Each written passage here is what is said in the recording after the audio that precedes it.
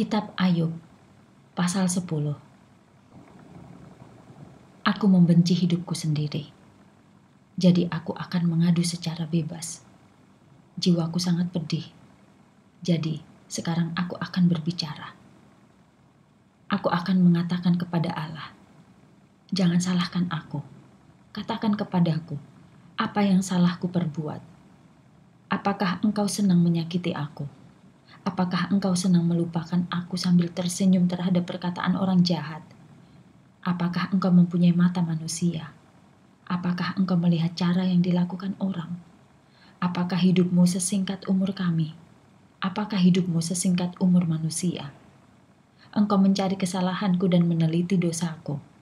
Engkau mengetahui aku tidak berdosa, tetapi tidak ada yang dapat menyelamatkan aku dari kuasamu.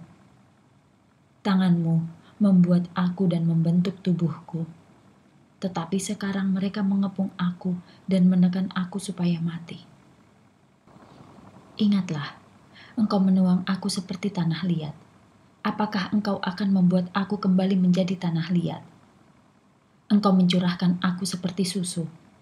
Engkau memintal aku dan mengentalkan aku seperti keju. Engkau membuat aku bersama tulang dan urat lalu engkau menutupi aku dengan kulit dan daging.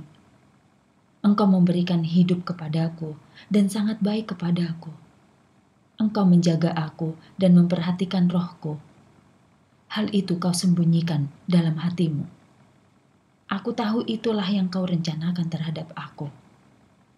Jika aku berdosa, engkau memperhatikan aku.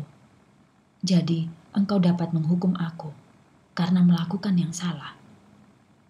Bila aku berdosa, aku salah dan harus dikutuk. Bahkan jika aku tidak bersalah, aku tidak dapat mengangkat kepalaku. Aku sangat malu karena semua kesulitanku. Jika aku berhasil dan merasa bangga, engkau memburu aku seperti orang memburu singa. Engkau kembali menunjukkan kuasamu terhadap aku.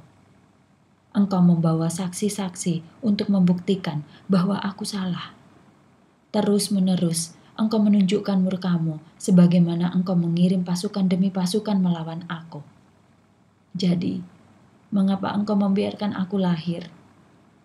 Seandainya aku mati sebelum ada yang melihat aku, seandainya aku tidak pernah hidup, seandainya aku dibawa langsung dari kandungan ibuku ke kuburan,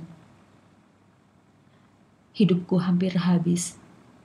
Jadi, tinggalkanlah aku sendirian biarlah aku bersenang-senang dalam waktuku yang masih tersisa.